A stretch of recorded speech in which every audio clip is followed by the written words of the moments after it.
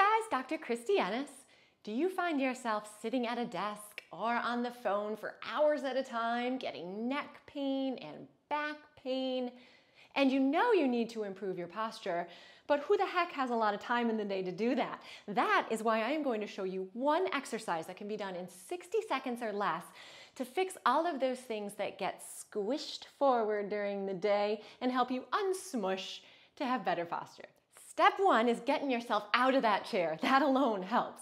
So once you do that, you are going to take one leg and step it back. It's okay if it's not directly in line with the front leg. If you want to practice your balance, you certainly can do that. But I'm going to bring that leg out just a touch. From here, I'm going to tuck my tailbone underneath, which already starts to stretch out that hip flexor, which gets tight, hip flexors. I'm also gonna squeeze into my glutes on this side to get a better stretch.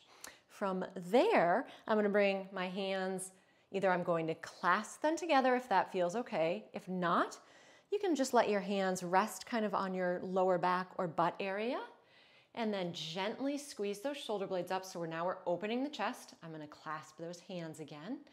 I'm actually going to, again, squeeze, lift up just a touch. Now, regardless of which hand position you're in, you're gonna try to do just a little extension of the head and the back. So we're opening up that whole front body.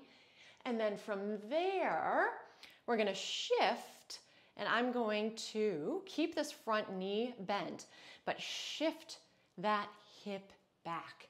So now I'm activating those glutes on the opposite side. And from there, I'm gonna work on now straightening out that front leg to stretch out the hamstring in that front leg and the shin. So that was in slow-mo. If we actually do it at full speed, it would be just like this. Taking a step back, clasping those hands, pressing that hip, squeeze that butt, open, fall over, just kidding, shift, straighten, and back up. Goal would be to do about three to five repetitions and try to do this a couple times a day to help you feel a lot better. Thank you so much for tuning in today, you guys.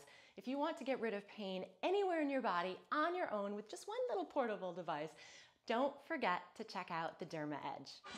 I created this while I was going through Lyme disease to help get rid of my pain on my own, nice and gently.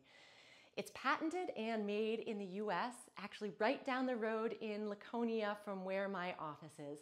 So don't forget, you can click the link here or in the description to order your own.